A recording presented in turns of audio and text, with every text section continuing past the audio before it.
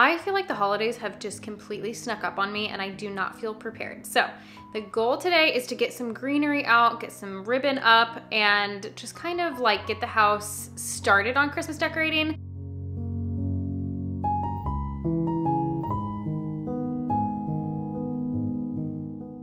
Hey friends, welcome back. We are jumping into our Christmas decorating series today. But before we get into the decorating, I want to introduce you to my friend Sarah over at Sarah's October Home if you've not seen her channel before. Her channel is such a wonderful place to draw inspiration from. She has such a beautiful home. She's got a very like beautiful cottage style, but it's very refined. I feel like her styling is just perfection. So I know that you guys are gonna love her. She's got a very sweet, calm demeanor. It's very just like relaxing to watch her videos. And I know that her Christmas decor is going to be gorgeous. So I'm gonna leave the link for her video down below. So be sure after you watch this one to go over there and check hers out. Let's get into the decorating.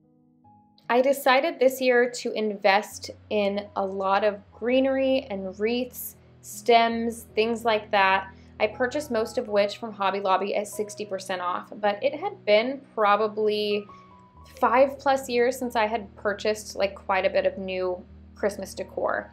I felt it was worth the investment to get pieces that I could reuse year after year. This wreath actually came from Walmart. I was very impressed with the quality for the price point. It was around $35 and I just really loved how weepy it is. It feels very whimsical to me and while I love the white berries on it, I did purchase it with the intention to remove them just because I won't have white berries and anything else. So you will see that here in just a bit, but I think it's beautiful with the berries as well.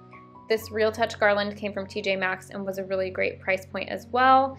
Some banister ties. I missed out on these last year, so I had to be sure to get those early this year. And I'll be sure to link them below and anything else I'm able to. Of course, we had to go for some ribbon.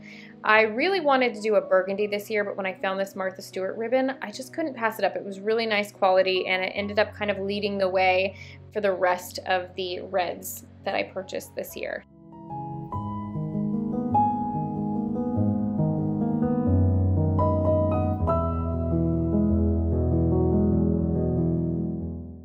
I'm not a big vintage Christmas thrifter, but I do like items like this that give you that very subtle hint at Christmas. And so I picked these up a while back while thrifting. And then this star garland I made last year, I did a DIY on this. So if you would like to make one of your own, I'll be sure to link that video down below for you. We're gonna hang up this buffet mirror. I purchased this a while ago. Again, it was a thrift find for 10 bucks. Uh, this is actually the original spot that I had intended it to go in, but we used it temporarily in the sunroom for Halloween. So now it is in its official home and I really love the way it looks here. Placing a command hook on the back of each of these French doors, I'm gonna hang wreaths on both of these. Now, the wreaths that I purchased for this are not Christmas wreaths, if you can't tell, but I feel like they really give a nod to that like fairy tale, whimsical Christmas. And I just think it's fun sometimes to think outside the box. So I went over to the regular greenery section at Hobby Lobby and found these. And while they were not 60% off like I had hoped, like all of the Christmas things were, I think they were totally worth it. They were around $13 a piece. But yeah, like I said, fairy tale Christmas, I'm all about it. I think these were a really good choice and a way to just like do something a bit different this year.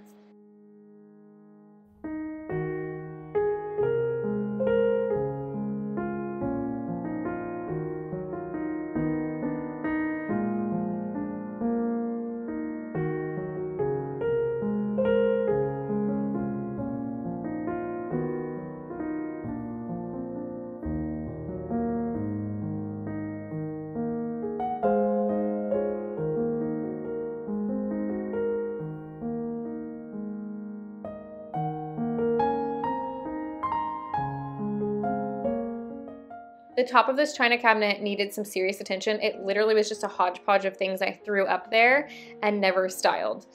I'm going to start with this greenery I got from At Home. It was around 20 and it's a little bit plasticky, a little bit thin. It's not like the best one that I purchased for sure, but honestly, when you have a lot of these like garlands and things up, it's not noticeable how real or not they look, especially once you kind of style around them and get twinkle lights in them and all that. You could also always get something really basic like this and then add picks to it to fill it out. and to add like some different types of greenery to create like a higher end look. But for up here, I didn't feel like it was necessary. I just put some lights in it and then we're gonna add a couple of other things to style up here and pretty much call the china cabinet good. We won't do a whole lot. I don't like to restyle the inside of it all of the time. Um, so we'll just do a couple of like subtle touches and it will be done and we'll move on to the next thing.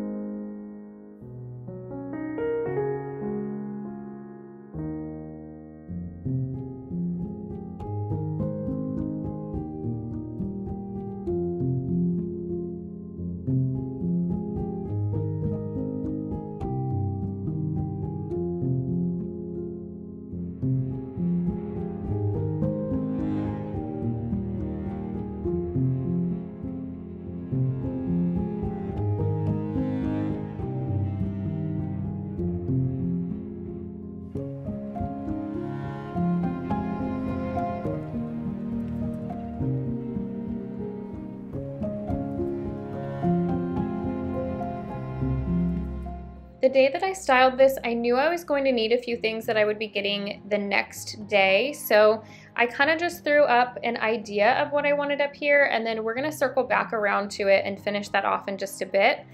Moving over to the wreath that I purchased from Walmart, I pulled these little berry stems right out. Um, so I could easily just put these back in if I wanted to.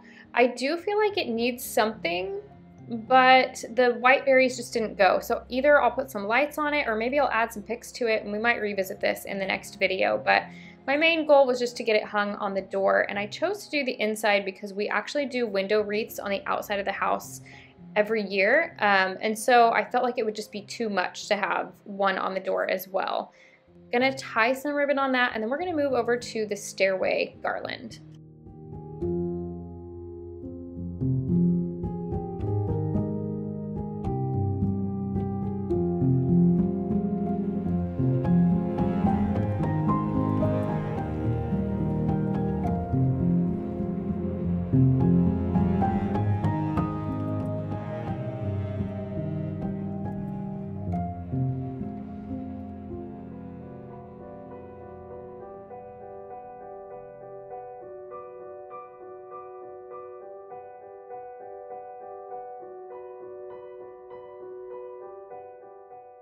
One of the things I love so much about these banister ties is they are wire, so you literally just twist them to secure them. And it made it really easy for doubling up my garland because I was able to just untie and retie them. Also, it eliminates the risk of damaging your banister, so I think that's a plus as well. I think those are totally worth it. I think you get like six for around 13 or $14. So definitely a good purchase. My garlands were a little bit short to run the whole way with me adding a swag at the bottom. So I do go back and kind of add in some picks to fill it out a bit.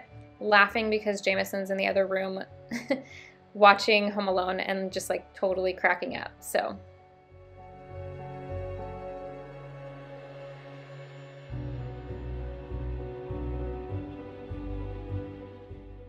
I always like to use these Velcro command strips to place on my battery packs. You guys know this. I have talked about it so many times, but if you're new here, this is my little hack that I am loud and proud about.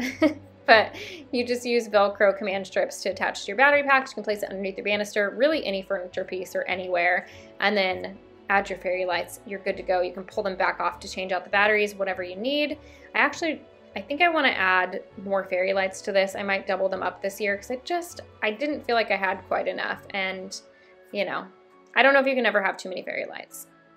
Gonna add some ribbon here. I wish that my ribbon was a bit longer. Last year I did some really long floppy bows, but I thought these red traditional like velvet bows were still really, really pretty.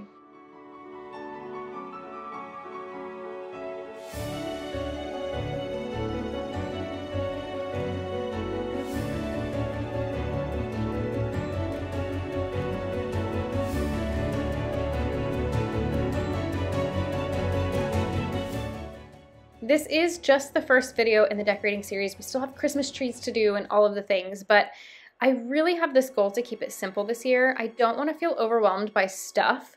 We have a toddler, and so life is overstimulating often, and our spaces being cleared out and not cluttered is very much needed in this season of life. So that's my goal this year. It's still gonna be beautiful, but we're just not gonna like overdo it.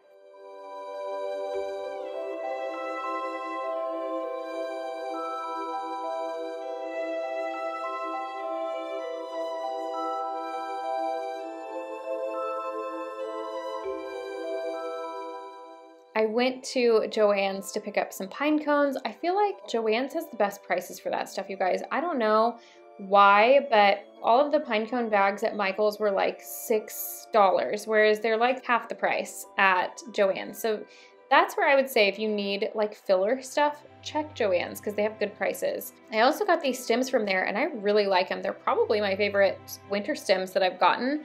And they were $7.99 I believe they were 50% off though. So I picked these up as well. I thought they look really pretty in my vintage ironstone pitcher. This was something that I thrifted at a garage sale. I think I got it for $2. I absolutely love it. It's so beautiful. And I thought it'd be perfect to just have like a little bit of greenery over on the buffet. So we're gonna go over there, we're gonna add some natural elements. Of course, we're gonna add our record player and a little drink station. I always like to have an area where I can put punch, or if we're gonna make like some cocktails or something, I like to have that over on the buffet, but it doesn't have to stay there all the time. So I just kind of show you how I style it, but for every day, you could just totally remove the pitcher and, you know, have that space a bit open and maybe put some records there or something.